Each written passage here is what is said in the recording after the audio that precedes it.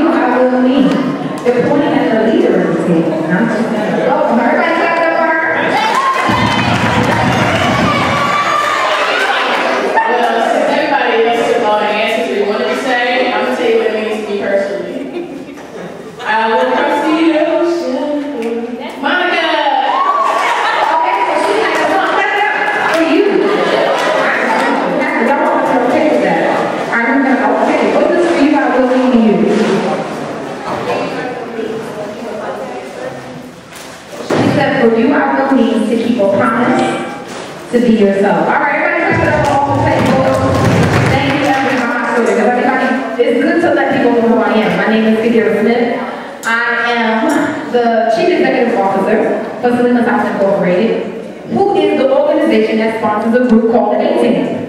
The A-Team is Richmond's only accident recruit, support, and accident response team. In Richmond, we have a radio show every Monday at 6 p.m. on www.lovebroadcasting.net. Again, we recruit and support people who choose the same sex, and we respond to crises in the community based on HIV, AIDS, tuberculosis, and STD. So that's what we do. We travel across the country I've been to places like LA, I've been to places like Detroit, I've been to places like Chicago, I've been to places like New York, Jersey, Philly, Baltimore, DC, Atlanta, um, you name it, talking about this particular message. Um, essentially, um, I'm going to talk about my accident decision and why I chose, why I chose abstain from sex. First and foremost, um, because of my Lord and Savior Jesus Christ, um, I got saved, I want to say about when I was 17. Um, but how many people know that there's a difference of being, from being saved and, and from you actually walking out your salvation is the difference. Getting saved is the first part.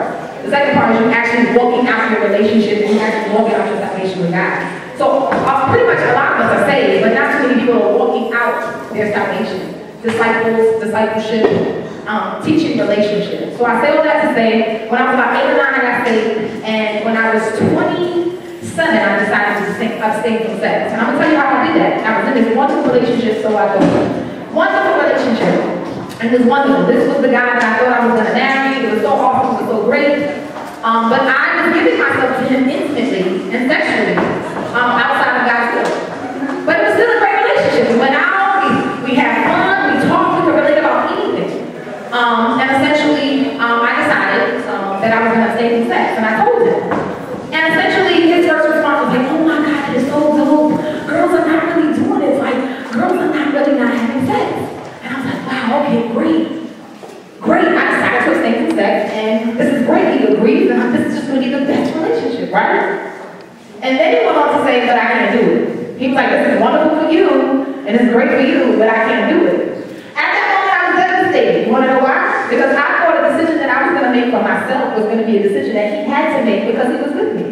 That's what I thought. That essentially, my decision and my choice to live holy was supposed to be his decision and choice. Why? Because he was with me. So I was upset, I was angry. And what I didn't tell you was I made the decision with one of my homegirls. One of my homegirls, I used to do this workshop with another young lady, her name is Jamala. Um, and we the A-list. And we made the decision together, and she had a boyfriend, I had a boyfriend. And my boyfriend said, okay. He said he was gonna do it. He did that guy. It was my boyfriend who said he couldn't do it. So essentially I'm mad because we made an agreement together. And we were supposed to work this out together, we were supposed to keep our relationship. So I thought. So essentially I went on to walk this out, to walk the decision out after he said, nah, I'm good, I can't do it. I was angry. It was several, it was several days that I was like, okay, I'm, I'm changing my mind. I'm changing my mind. Like, I don't, this was a great relationship. It's okay. I can kind of not, I kind of not be acting and be with him. Wrong. I was going to compromise yet again another decision that I was making for me. Two things, two things that I that I say when I talk about my testimony for abstinence specifically is we think that decisions that we make is supposed to be somebody else's decisions. And essentially that's okay when we're in a relationship, right? Wrong. You guys have been talking about for you, I will. I'm hearing that essentially it's about your relationship. I'm hearing that it's essentially about God loving us and doing great and wonderful things for us. Um, but what are we going to give up for God? What are you going to give up for God? In relationships, let's talk about it. One of the biggest things I wanted to do, a lot of people ask me, so you're not having sex in relationships. A lot of kids, I, I, I speak to a lot of kids, so you're not having sex in relationships, what are you doing? And you know what I tell them? I'm working on me. This is the first time in a long time, and I'm not 27 anymore. I'm 20. I've been doing this for minute, and it was the first time, at 27 was the first decision. I'm 29. I'm 29. At 27, and me deciding to abstain from sex, that was the first decision that I, that I made for myself. My whole life, I made decisions compromising in relationships, in friendships. The biggest thing about me was I couldn't say no. I was too nice. You was my homegirl and you wanted something. Oh, okay, okay. If I was in a relationship with you and I would stand, I would be strong for about a month, maybe two months. And then after that, I was like, okay, compromise myself, compromise myself, compromise myself. It's a pattern, compromise myself. And then, and then at 27, after I made the decision to abstain from sex, in spite of him saying, no, I can't do this, this was the first time I was going to decide to do something for myself. For God. That essentially I was saved. Yes, I was saved. But I decided to give up sex for a better and closer relationship with God. That's what I was willing to give up. Not too many people are willing, to give that up. Not too many people are willing to stop doing that to receive a promise that God gave us for being absent. Not many people are willing to do it.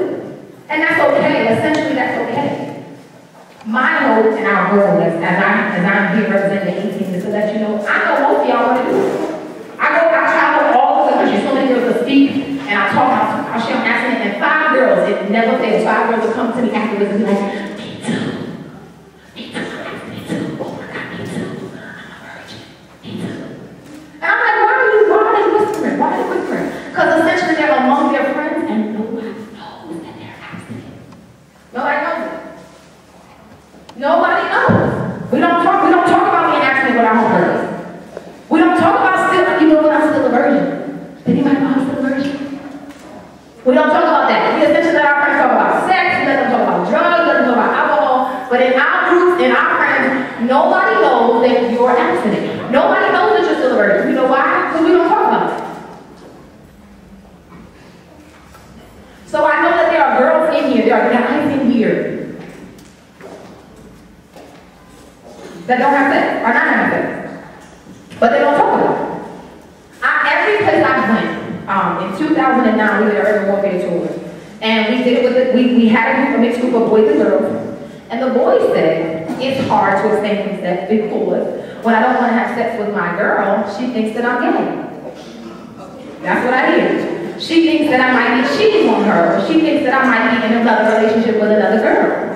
I heard boys say, it's, it's, I heard boys say that sex is, oh, that's easy. I want to get that, that's easy. I've heard that. And every time I hear it, my heart breaks. It breaks. Our young people are dying from HIV AIDS. Just two hours away in Washington, D.C., there's a para-epidemic of young people who have HIV AIDS. I didn't come here to scare you. I didn't come here to scare you. I've come here so we can be real about what's going on with you guys. In 2011, HIV AIDS is still a problem. With all this technology, with all this wrap it up, with all this birth control, and you don't have to have your period for a whole year, teen pregnancy is still a problem. HIV AIDS is still a problem. STDs are still a problem.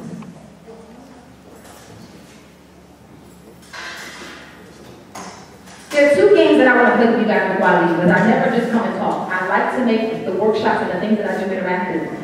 So I'm going to need a representative, again, it could be the same person or somebody different, from each table to come up here and bring your chair and have a seat. This particular game is called Intimacy. One person from each table, you have to bring your chair here. One person.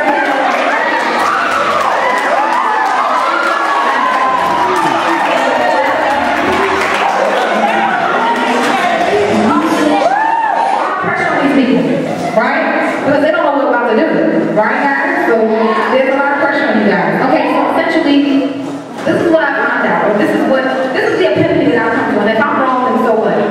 Um, but I would like to share some epiphany epiphany with you guys.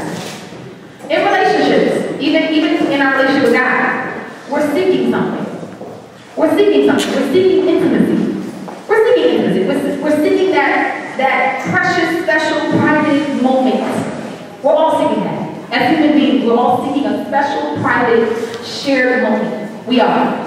Unfortunately, we're not taught to, to look for that special, private, and precious moment with God. We're taught to find somebody. Oh, I like her. Oh, I like him. And I want to share something special, personal, and private with them. Right? But because we've been miseducated about what intimacy is, you settle for sex. You settle for sex. You settle for a physical act that's not fulfilling. And we settle for that. And in essence, what you guys are really intimacy. And I'm going to give you a definition, my definition of intimacy. Intimacy for me and for the purposes of this game is something personal, private, and personal to you. All of you guys have something special, personal, and private to you. It's things that you don't do with everybody. It's things that you don't, it's things that you essentially do that are special and personal. Not, I don't do this with everybody. I don't share this information with everybody. I don't go this place with everybody. That's that's, so be thinking about that as you go, because we're about to play a game. Be thinking about special, personal, and private things about yourself. Things that you do.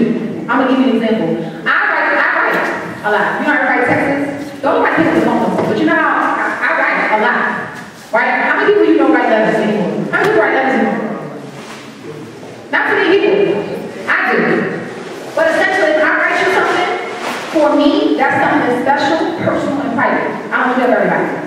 Okay? So that's what I mean. Think about things like that. Personal, private. Some of y'all write music, don't nobody really know. Some of y'all write poetry, don't nobody really know. Some of y'all sing, but nobody is around, don't nobody really know. That is essentially something, it's, something personal and private that you don't share with that everybody doesn't get. Okay, all right, yes. Okay, we got our judges. Now, this is what I want our judges to do. Each time I say one, the person who's snaps their hand, put your hand like that, underneath this. Like this. Yeah, no, no, no. Oh, there you go. No, hold your, hold your hand up. Hold your hand up. Yeah, no, no. Okay. No, no, little higher. Okay. So this is how it goes. When I count one, right? If you snap the person's hand underneath you, then you get to speak. If the person misses their hand, you don't speak. Get the, get the, get the point? Whoever snaps whoever's hand, you get to talk about for your table. For your table, you get to talk about something personal and private and special about you that you do. I'm gonna give you an example again. I write. Not a lot of people know that I write. Okay? I like jazz. Not lot know. You get what I'm saying? Does everybody, make sure everybody got it. You got what I'm saying? Okay, so don't, be- who don't understand? Okay.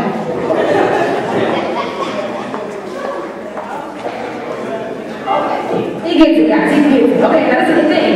She's gonna slap out your hand. If you wanna speak, you'll get your hand. Yes, if she wants to speak, she'll slap your hand. You get what I'm saying? Like, I'm gonna say one, hand. I'm gonna say one, slap your hand. If she slaps your hand, you won't speak, she'll slap your hand. If she doesn't get your hand, you speak.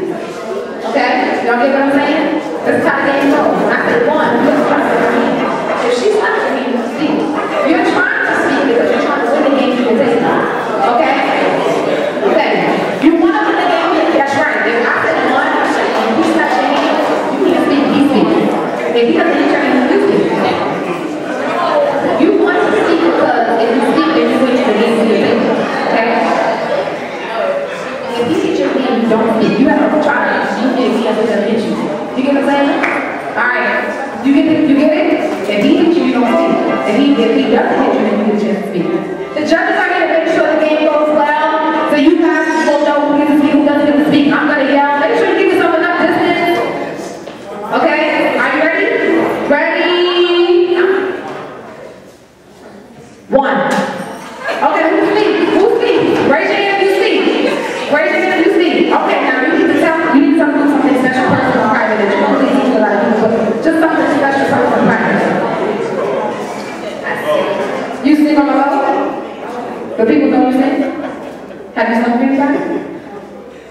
Okay, that's just personal private, but you really feel very good? Okay, so that's good. All right, what's your, what's your table? All right, we got one on that table. Okay, go ahead, go, go. Who speaks?